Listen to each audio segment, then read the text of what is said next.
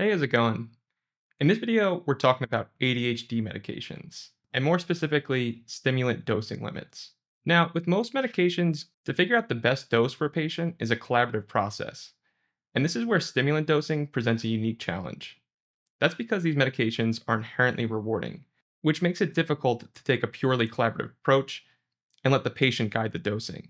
On the other hand, the safe upper limits are not always clear despite the strict Schedule II status the DEA has placed on these medications. In this video, we're going to look at where to draw the lines and where the risk of dosing is too high. So to get started, what's wrong with going higher on the dose? Higher dose raises the risk of abuse and diversion, and importantly, it raises the risk of cardiovascular problems. When patients are young, they may not be thinking of hypertension, stroke, and myocardial infarction, but these are real risks that are important to take into consideration. Importantly, higher doses can worsen cognition, either by disrupting sleep causing a hyperfocused state that makes it difficult for the patient to shift gears and change tasks. We also know that other psychiatric symptoms, psychosis, mania, anxiety, are more likely to increase as we increase the dose.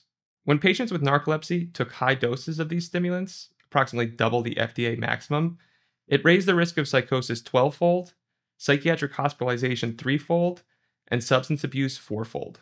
And animal models point to these problems, particularly with the amphetamines. Studies with baboons have shown brain damage on elevated doses of amphetamines, equaling about 60 milligrams per day and above in human doses. If you want access to a really helpful chart that goes over the max daily dose of all these different medications, head on over to the carlatreport.com slash stimulant limits. So let's start with the amphetamines. The FDA sets the maximum for Adderall, either IR or XR, at a dose of 40 milligrams per day for adult ADHD. But they do allow up to 60 milligrams per day for more severe cases of ADHD and for narcolepsy.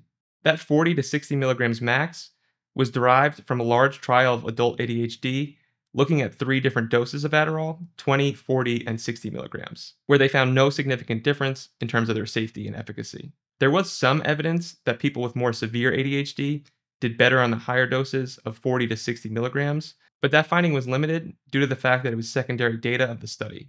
We recommend thinking of the dose in three different zones. There's the safe zone below 40 milligrams, there's the gray zone, 40 to 60 milligrams, and then there's the danger zone, which is above 60 milligrams. Now, going up to 60 milligrams per day might be justified when the symptoms are severe, but here you're really going to want to document the presence of these symptoms on the mental status exam and verify that the ADHD is affecting the patient's functioning. We're not aware of any research justifying a dose above 60 milligrams per day, which would land us in the danger zone. One caveat is that higher doses may be justified when a longer duration is needed. Mydayis, which is a very extended release version of Adderall, has a maximum dose of 50 milligrams. But this leads to similar plasma levels as Adderall XR 40 milligrams because the dose is spread over 16 hours instead of 12. Now, whenever you extend the duration, it's important to make sure the patient's getting adequate sleep so that they're not relying on their stimulant for symptoms of sleep deprivation. For methylphenidate, the FDA gives a clear maximum that varies slightly by the formulation. That max is 60 milligrams per day for methylphenidate instant release, brand name Ritalin, but higher doses are allowed for products with longer durations. Here we're thinking about Concerta, which you can go up to 72 milligrams over 12 hours, and Adhansia, which you can go up to 100 milligrams over 16 hours. And a few of the methylphenidate products have a lower dose cap because more of the drug is absorbed. These include the transdermal formulation, so Daytrana is given at half the usual methylphenidate dose, and the orally disintegrating tablets. So Cotempla ODT is dosed at 86% of the usual dose, and then Adzenys ODT at 65%.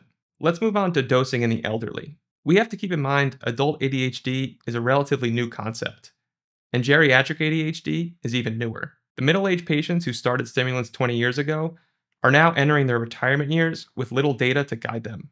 That's because there are no controlled trials in patients with ADHD after age 50. But there are observational studies that suggest that older adults continue to benefit, although at lower doses. For example, average doses of 30 milligrams per day for methylphenidate and 10 milligrams per day for amphetamine and dextroamphetamine.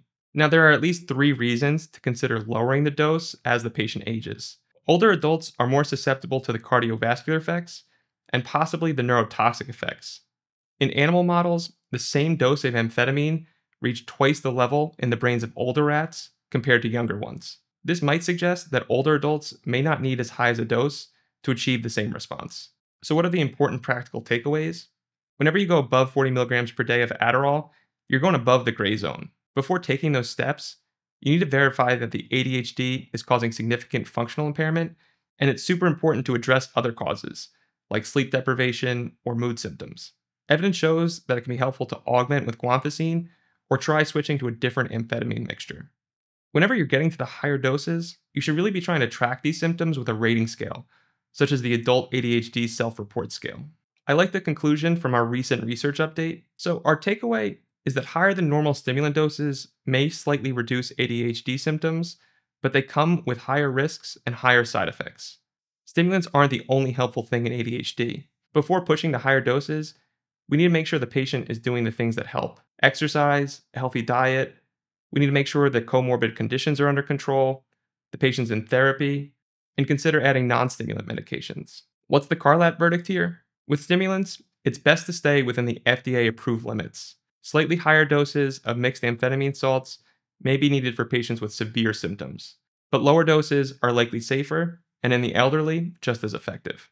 If you found this video helpful, definitely head on over to thecarlatreport.com and consider subscribing to our newsletter. Thanks for watching.